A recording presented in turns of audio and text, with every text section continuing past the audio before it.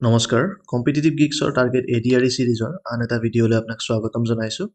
আমি ডিছকাছ কৰি আছিলোঁ important current affairs for upcoming direct recruitment exam আৰু অন্যান্য যিকোনো examination Assam TET D M E বা আছাম পুলিচৰ যিসমূহ আপকামিং এক্সামিনেশ্যন আছে সকলোবোৰতে এই কাৰেণ্ট এফেয়াৰ্ছ ছিৰিজ হেল্পফুল হ'ব। আমি অলৰেডি পাঁচটা ছিৰিজ পাঁচটা এই ছিৰিজত পাঁচটা পাৰ্ট অলৰেডি আপলোড কৰিছোঁ পাঁচটা ভিডিঅ' এইটো হ'ব পাৰ্ট ছিক্স ইয়াত আমি কুৱেশ্যন নম্বৰ ছেভেণ্টি ছিক্সৰ পৰা ইয়াত কণ্টিনিউ কৰিম। আগৰ ভিডিঅ'কেইটা যিসকলে চোৱা নাই আপোনালোকে এইটো ভিডিঅ' চোৱা হ'লে ডেছক্ৰিপশ্যনত থকা লিংকত গৈ পেলাই আটাইকেইটা ভিডিঅ' চাই ল'ব পাৰিব। চ' আজিৰ first question question number seventy six a compilation of essays written on with legendary Assamese created a new Guinness world record এটা easy question Guinness world record create হৈছিল লাষ্ট ইয়েৰ কোনজন ব্যক্তিৰ বিশেষ ব্যক্তিৰ জন্মদিন উদ্দেশ্যে এইটো অৰ্গেনাইজ কৰা হৈছিল? এইটো হ'ল লাচিত বৰফুকন। আৰু তেখেতৰ আমি four hundred birth anniversary celebrate কৰিছিলোঁ যিহেতু। সেইবাবে এই এছে কম যিটো অনলাইন এছে ছাবমিশ্যন এইটো এৰেঞ্জ কৰা হৈছিল। আৰু forty two lakhs ninety four thousand three hundred fifty essays নাম্বাৰটো ইম্পৰ্টেণ্ট নহয় সংখ্যাটো। ইমানখন অনলাইন এছে ফটো এলবাম এটা ক্ৰিয়েট কৰা হৈছিল হেণ্ড ৰিটেন নোটছৰ আৰু টুৱেণ্টি থ্ৰী বেলেগ বেলেগ লেংগুৱেজত বিভিন্ন ভাষাত এই এছেসমূহ লিখা হৈছিল। তাৰ কাৰণে এইটো গিনিজ ৱৰ্ল্ড ৰেকৰ্ড ক্ৰিয়েট হৈছিল এটা। আৰু লাচিত বৰফুকনৰ কথা ক'লে তেখেত কাৰ ল'ৰা আছিল? এইটো মোমাই তামুলী বৰবৰুৱা। মোমাই তামুলী বৰবৰুৱা আছিল ফাৰ্ষ্ট বৰবৰুৱা আৰু কোনে নিযুক্ত কৰিছিল তেখেতক বৰবৰুৱা হিচাপে? বৰবৰুৱা পষ্টটো কোনে ক্ৰিয়েট কৰিছিল? সেইটো হ'ব স্বৰ্গদেউ প্ৰতাপ সিংহ। স্বৰ্গদেউ প্ৰতাপ সিংহৰ দিনত এই বৰবৰুৱা পষ্টটো নতুনকৈ ক্ৰিয়েট কৰা হৈছিল আৰু তেখেত প্ৰথম বৰবৰুৱা হিচাপে নিযুক্ত হৈছিল। আৰু প্ৰতাপ সিংহক কি বুলি কোৱা হয়? বুদ্ধি স্বৰ্গনাৰায়ণ বুলি কোৱা হয়। বুদ্ধি স্বৰ্গনাৰায়ণ। আৰু পাইক ছিষ্টেম যিটো পাইক প্ৰথা আছিল এই পাইক প্ৰথাটো প্ৰথম মোমাই তামুলী বৰবৰুৱাই প্ৰতাপ সিংহৰ দিনত ষ্টাৰ্ট কৰিছিল। আৰু বৰফুকন আৰু বৰ বৰ যিটো ক'লোঁ অলৰেডি বৰবৰুৱা দুইটা পষ্টেই প্ৰতাপ সিংহৰ দিনত ক্ৰিয়েট কৰা হৈছিল। বৰবৰুৱা প্লাছ বৰফুকন দুইটা পষ্ট প্ৰতাপ সিংহই ক্ৰিয়েট কৰিছিল। ইম্পৰ্টেণ্ট কুৱেশ্যন আহিব পাৰে।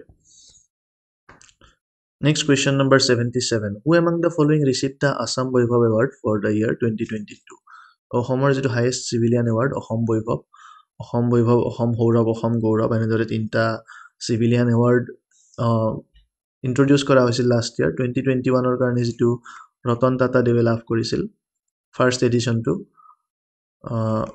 ৰতন টাটা।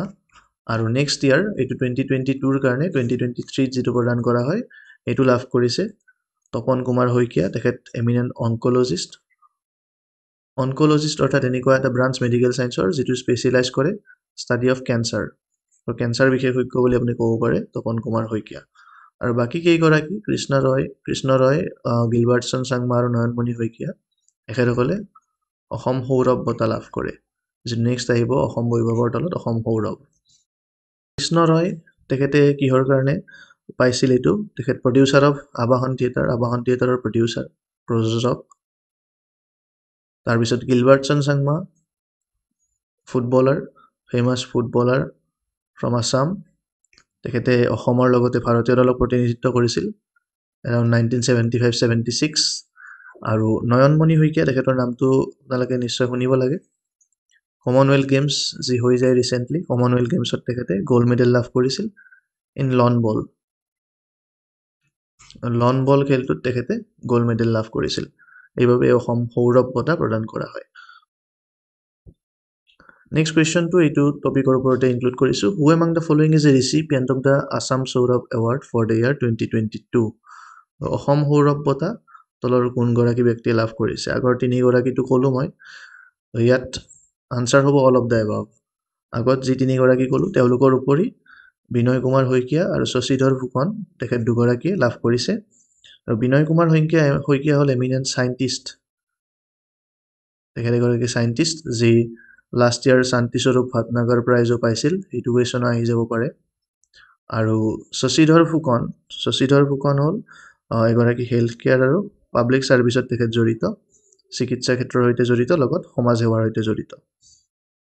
গিলবাৰ্টছন চাংমাটো ক'লোঁ। ত' এই আগত তিনিজন থাকিল লগত এই দুজন এখেতসকলে এই অসম সৌৰভ বঁটা লাভ কৰিছে Question number 79. In which state is the Yaosang festival celebrated? Yaosang festival celebrate কৰা হয় মণিপুৰত মণিপুৰৰ যিটো মেইটি কমিউনিটি আছে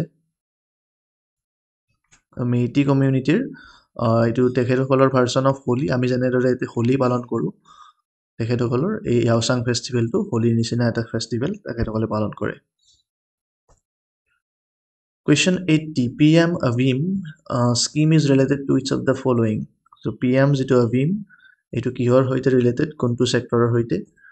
আনচাৰ হ'ব হেল্থ চ' পি এম আভিমৰ ফুল ফৰ্ম হ'ল Ayushman Bharat health infrastructure mission অৰ্থাৎ যিসমূহ আমাৰ হেল্থ ছিষ্টেম বা ইনষ্টিটিউশ্যন যি যি যিসমূহ আছে হস্পিটেলসমূহ সেইসমূহৰ ইনফ্ৰাষ্ট্ৰাকচাৰ বা আন্তঃগাঁথনি উন্নয়নৰ বাবে এই স্কিমটো লঞ্চ কৰা হৈছিল। যাতে বৰ্তমানৰ যিসমূহ যিখিনি চিটুৱেশ্যন আছে বা ফিউচাৰ যি পেণ্ডেমিক আহিব পাৰে ক'ভিড নাইণ্টিনৰ দৰে পেণ্ডেমিক সেইটো আমি এফিচিয়েণ্টলি এফেক্টিভলি যাতে ফেচ কৰিব পাৰোঁ। মিনিমাম যাতে লছ হয় আমাৰ মিনিমাম মানুহৰ যাতে মৃত্যু হয় তেনেদৰে ইনফ্ৰাষ্ট্ৰাকচাৰটো যাতে বনাব পাৰি সেইটোৰ ওপৰত গুৰুত্ব দি পেলাই এই পি এম অভিম স্কিমটো লঞ্চ কৰা হৈছিল।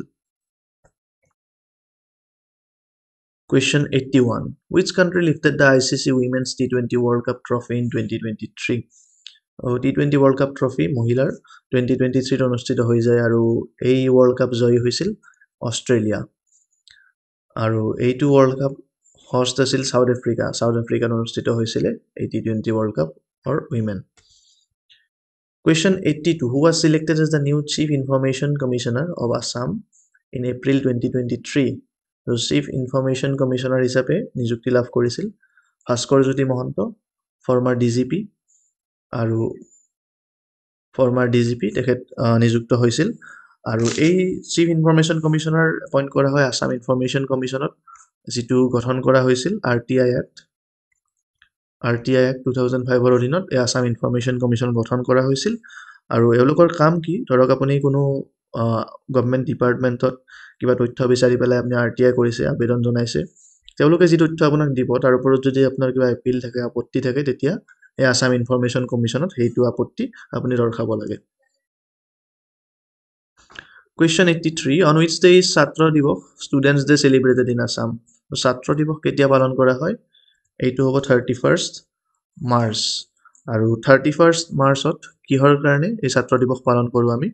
কাৰণ এইটো দিনত বড়োফা বডোফা উপেন্দ্ৰনাথ ব্ৰহ্মৰ ইউ এন ব্ৰহ্মৰ এইটো বাৰ্থ এনিভাৰ্চাৰী তাৰ কাৰণে এইটো নতুনকৈ ছাত্ৰ দিৱস হিচাপে পালন কৰিবলৈ লৈছোঁ আমি।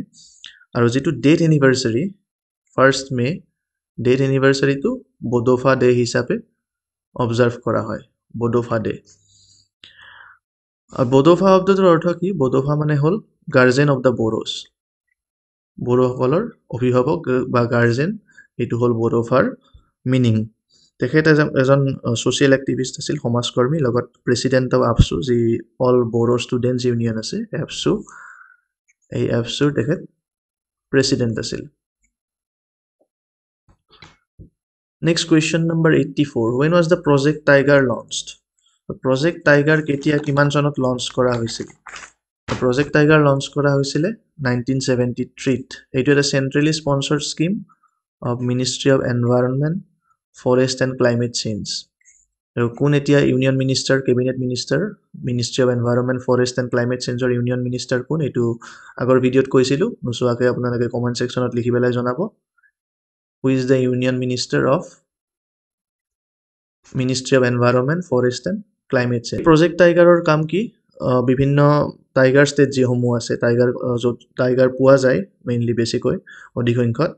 এই টাইগাৰ ষ্টেটসমূহক যাতে এছিষ্টেঞ্চ দিয়া হয় টাইগাৰ কনজাৰ্ভেশ্যনৰ কাৰণে টাইগাৰৰ সংৰক্ষণৰ কাৰণে যি ফাইনেন্সিয়েল যিখিনি এছিষ্টেঞ্চ লাগে এই প্ৰজেক্ট টাইগাৰৰ অধীনত দিয়া হয়। Total fifty four tiger reserves আছে ইণ্ডিয়াত আৰু অসমত ইয়াৰ ভিতৰত চাৰিখন থাকিব টাইগাৰ ৰিজাৰ্ভ কাজিৰঙা নেশ্যনেল পাৰ্কত মানস নেশ্যনেল পাৰ্ক নামেৰি আৰু ওৰাং। এই চাৰিওখনত প্ৰজেক্ট টাইগাৰ বা টাইগাৰ ৰিজাৰ্ভ আছে। ৰিচেণ্ট টাইগাৰ চেঞ্চাছৰ কথা সুধিব পাৰে। ৰিচেণ্ট টাইগাৰ চেঞ্চাছ এটা হৈ যায়। এই টাইগাৰ চেঞ্চাছ অনুসৰি ভাৰতত three six eight two total tigers আছে। আৰু ষ্টেট হিচাপে যদি চাব যাওঁ আমি মধ্যপ্ৰদেশত মেক্সিমাম নাম্বাৰ অফ টাইগাৰ আমি পাম। আৰু নেশ্যনেল পাৰ্ক হিচাপে বা ৰিজাৰ্ভ ফৰেষ্ট হিচাপে যদি চাওঁ তেতিয়া জিম কৰবেট নেশ্যনেল পাৰ্ক এই জিম কৰবেট নেশ্যনেল পাৰ্কত আমি মেক্সিমাম টাইগাৰ্ছ পাম। Question number eighty five when is earth hour observe every year earth hour কেতিয়া অবজাৰ্ভ কৰা হয়? এইটো অৰ্গেনাইজ কৰে ডব্লিউ ডব্লিউ এফ যিটো world wide fund for nature আৰু এই আৰ্থ আৱাৰ জেনেৰেলি অবজাৰ্ভ কৰা হয় লাষ্ট ছেটাৰডে অফ মাৰ্চ মাৰ্চৰ শেষৰটো শনিবাৰে। যিখিনি নন এচেঞ্চিয়েল ইলেক্ট্ৰিকেল লাইট আছে যিখিনি আমাৰ একেবাৰে প্ৰয়োজনীয় নহয় নজ্বলালে নহয় সেইখিনি লাইট এঘণ্টাৰ বাবে অফ কৰি পেলাই eight thirty to nine thirty P M গোটেই পৃথিৱীতে অফ কৰি পেলাই এই আৰ্থ আৱাৰ অবজাৰ্ভ কৰা হয় Question 86. Which of the following countries has recently graduated from the least developed country status of WTO? WTO অৰ্থাৎ ৱৰ্ল্ড ট্ৰেড অৰ্গেনাইজেশ্যন আৰু world trade অৰ্গেনাইজেশ্যনে দেশসমূহক তিনিটা ভাগত তিনিটা কেটেগৰীত ভাগ কৰে ডেভেলপড ডেভেলপিং আৰু এল ডি চি অৰ্থাৎ লিষ্ট ডেভেলপ কাণ্ট্ৰিজ আৰু এই যিটো দেশসমূহৰ যিটো কেটেগৰাইজেশ্যন এই কেটেগৰাইজেশ্যনটো দেশসমূহে নিজে কৰিব পাৰে। ডেভেলপিং আৰু ডেভেলপ কাণ্ট্ৰি কোনোবা দেশে নিজকে ডেভেলপিং বা ডেভেলপড হিচাপে ডিক্লেয়াৰ কৰিব পাৰে। আৰু ডিক্লেয়াৰ কৰাৰ পিছত বেলেগ দেশে যদি আপত্তি থাকে ডেভেলপিং বুলি ধৰক কোনোবা এখন দেশে নিজক ডিক্লেয়াৰ কৰিছে তেখেতে তেতিয়া সেইখন দেশে কিছুমান সুবিধা লাভ কৰিব ডব্লিউ টি অ'ৰ পৰা। আৰু বেলেগ দেশৰ আপত্তি থাকিলে আপত্তি দৰ্শাব পাৰে। কিন্তু যিটো এল ডি চি ষ্টেটাছ আছে লিষ্ট ডেভেলপ কাণ্ট্ৰি ষ্টেটাছ সেইটো দিয়া হয় ইউ এনৰ পৰা। ইউনাইটেড নেশ্যনছে এই ষ্টেটাছটো দিয়ে। ৰিচেণ্টলি লিষ্ট ডেভেলপিং কেটেগৰীৰ পৰা কোনখন দেশে মানে ডেভেলপিং কাণ্ট্ৰি ষ্টেটাছ লাভ কৰে এইটো হ'ব Bhutan. Bhutan recently least develop country ষ্টেটাছৰ পৰা তেওঁলোক প্ৰমোট হৈ পেলাই ডেভেলপিং কেটেগৰীত গুচি যায়। Next question number eighty seven Assam recently sign a M O' U মানে memorandum of understanding with which state to resolve differences in the state border so' কোনখন ষ্টেটৰ সৈতে যি দীৰ্ঘদিনীয়া সীমা বিবাদ চলি আছিলে কিছু অংশ ছল্ভ কৰাৰ কাৰণে যি এম ইউ চাইন কৰা হয়। কাৰেক্ট আনচাৰ হ'ব অৰুণাচল প্ৰদেশ টুৱেণ্টি টুৱেণ্টি থ্ৰীত কি হয় ৰিচেণ্টলি এপ্ৰিল মাহত টুৱেণ্টি টুৱেণ্টি থ্ৰীত অসমৰ মুখ্যমন্ত্ৰী হিমন্ত বিশ্ব শৰ্মা ডাঙৰীয়া আৰু অৰুণাচলৰ মুখ্যমন্ত্ৰী পেমা খাণ্ডু দুয়োজনেই গৃহমন্ত্ৰী অমিত শ্বাহৰ উপস্থিতিত এখন এম ইউ চাইন কৰে। তাতে যিটো সীমা বিবাদ দীৰ্ঘদিন ধৰি চলি আছিল কিছু পৰিমাণে তাক কিছু অঞ্চলৰ হ'লেও ৰিজল্ভ কৰিব পাৰি। Question 88. Project Kuiper is a proposed project of which a multinational technology company. Project Kuiper কোনটো কোম্পানীৰ সৈতে জড়িত? কাৰেক্ট আনচাৰ হ'ব এমাজন আৰু এই প্ৰজেক্ট কুইপাৰৰ টাৰ্গেট কি? To increase global broadband access broadband নিশ্চয় আপোনালোকে জানে ইণ্টাৰনেট এক্সেছৰ কাৰণে ইউজ কৰা হয়। ব্ৰডবেণ্ডৰ এক্সেছ যাতে ইনক্ৰিজ কৰিব পাৰি তাৰ কাৰণে নতুনকৈ থ্ৰী টু থ্ৰী ছিক্সটা ছেটেলাইট অলমষ্ট তিনি হাজাৰ ছেটেলাইট তেওঁলোকে লঞ্চ কৰিছে ইন ল' আৰ্থ অৰ্বিট আৰু তেওঁলোকৰ টাৰ্গেটটো কি হ'ল? যাতে যিসমূহ আণ্ডাৰ চাৰ্ভ বা আনচাৰ্ভ কমিউনিটি আছে পৃথিৱীৰ বিভিন্ন অঞ্চলত য'ত এতিয়াও ইণ্টাৰনেট লাভ নকৰে তেওঁলোকে সেইখিনি অঞ্চলৰ মানুহক যাতে ফাষ্ট আৰু এফৰ্ডেবল ইণ্টাৰনেট তেওঁলোকে দিব পাৰে high speed internet at affordable price মানে কম খৰচত। Question eighty nine which is the first state or union territory uh, to include it has to follow like to include e-cycles in its electric vehicle EV policy so electric vehicle policy কোনে e-cycle include কৰিছে অৰ্থাৎ যিটো electronic cycle correct answer হ'ব দেলহি আৰু এই electronic cycle বা electric vehicle পলিচিত যিখিনি ইলেক্ট্ৰিক চাইকেল যিসকলে কিনিব ফাৰ্ষ্ট টেন থাউজেণ্ড যি বায়াৰ থাকিব তেওঁলোকে ছাবচিডি লাভ কৰিব ইলেক্ট্ৰনিক চাইকেলত ইলেক্ট্ৰিক চাইকেলত তেওঁলোকে যিটো প্ৰাইচ প্ৰাইচৰ ওপৰত ডিছকাউণ্ট পাব তেওঁলোকে। Question number ninety mission Raftaar which was seen in the news recently was associated with which institution mission ৰফতাৰটো তলৰ কোনটো সংস্থাৰ সৈতে জড়িত? কাৰেক্ট আনচাৰ হ'ব ইণ্ডিয়ান ৰেলৱেজ আৰু মিছন ৰফতাৰৰ টাৰ্গেট হ'ল নামটোত আপোনালোকে বুজিব পাৰিব টাৰ্গেট হ'ল to increase speed of trains mail বা এক্সপ্ৰেছ ট্ৰেইনৰ speed fifty kilometre per hour পৰ্যন্ত ইনক্ৰিজ কৰা।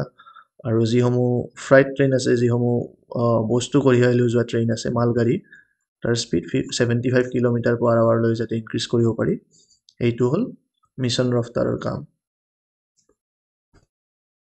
চ' এইটো ভিডিঅ'ত কুৱেশ্যন ইমানখিনি আছিল। আমি পোন্ধৰটা কুৱেশ্যন ইয়াত ডিছকাছ কৰিলোঁ। লগত যিখিনি ৰিলেটেড ইনফৰ্মেশ্যন দিব পাৰোঁ যিখিনি ইম্পৰ্টেণ্ট বুলি ভাবিছোঁ পৰীক্ষাৰ পাৰ্চপেক্টিভৰ পৰা সেইখিনি লগত দি গৈছোঁ।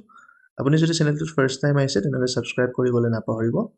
লগত ন'টিফিকেশ্যন বেলটোত ক্লিক কৰিব যাতে নেক্সট ভিডিঅ' আমি যেতিয়া আপলোড কৰিম তাৰ ইমিডিয়েট ন'টিফিকেশ্যন আপুনি আপোনাৰ মোবাইলত লাভ কৰিব পাৰে। আৰু নেক্সট পাৰ্ট ছেভেনলৈ আমি অতি সোনকালে আহিম। আগৰ ভিডিঅ'কেইটা আপুনি যদি চোৱা নাই ডেছক্ৰিপশ্যনত থকা লিংকত গৈ পেলাই চাই ল'ব পাৰিব। আৰু আমাৰ যি টেলিগ্ৰাম চেনেল বা টেলিগ্ৰাম গ্ৰুপৰ লিংক আছে সেইটো ডেছক্ৰিপশ্যনত দিয়া থাকিব। কিবা সুধিবলগীয়া থাকিলে আপোনাৰ তাত গৈ পেলাই সুধিব পাৰিব। চাই থাকিব আমাৰ channel Competitive Geeks thank you for ৱাচিং